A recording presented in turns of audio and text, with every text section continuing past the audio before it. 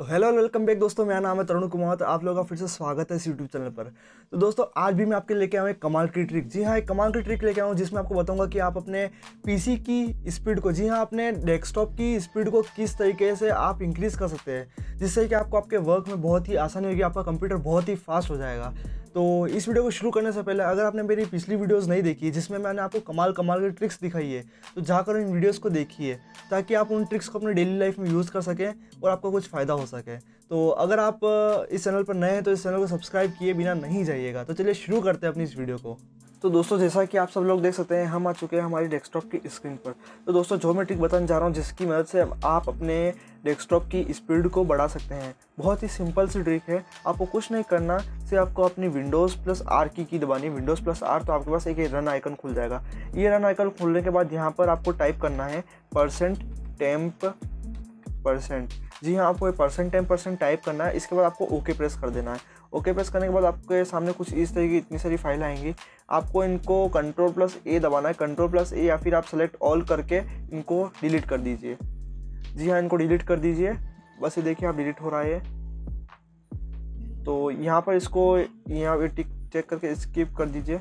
Skip करने के बाद कुछ ये एक ही बचेगा तो इसके बाद आपको वापस विंडोज़ प्लस आर दबाना है। विंडोज़ प्लस आर दबाने के बाद आपको वापस लिखना है टाइप करना है temp T E M P temp type करके यहाँ पर ओके पर प्रेस कर देना है। ओके प्रेस कर देने के बाद देखिए मेरे मेरे अंदर तो कुछ इतनी सी फाइल्स आ रही है, आपके अंदर बहुत सारी फाइल्स आएगी। तो आपको वापस कंट्रोल प्लस ए करके सेलेक्ट ऑल करके इनको डिलीट कर देना है। डिलीट कर देने के बाद यहाँ पर मैं इसको स्किप कर दूँगा।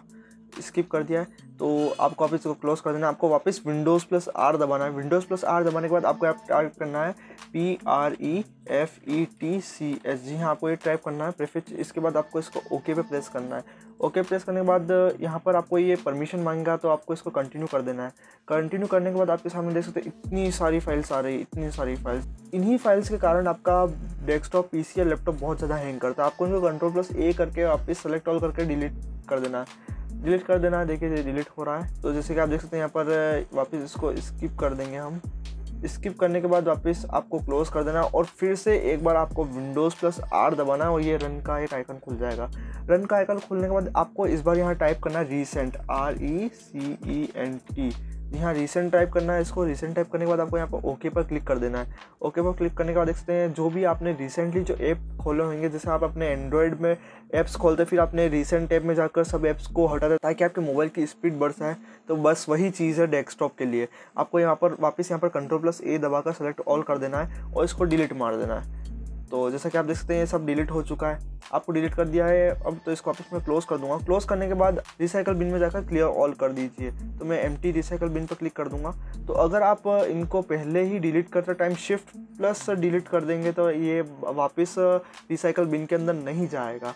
तो ये थी हमारी आज की ट्रिक तो दोस्तों, मुझे होप है आपको मेरी ये ट्रिक और वीडियो पसंद आई होगी। अगर आपको मेरी ये ट्रिक और वीडियो पसंद आई है तो इस वीडियो को लाइक कीजिए कमेंट कीजिए और अपने दोस्तों का शेयर करना ना भूलिएगा। क्योंकि मैं इसी तरीके की ट्रिक्स एंड टिप्स की वीडियोस आपके लिए लाता रहूँगा इस चैनल पर। तो इस चैनल को सब्सक्राइब किए बिना नहीं जाइएगा। तो चलिए मिलते हैं नेक्स्ट वीडियो में।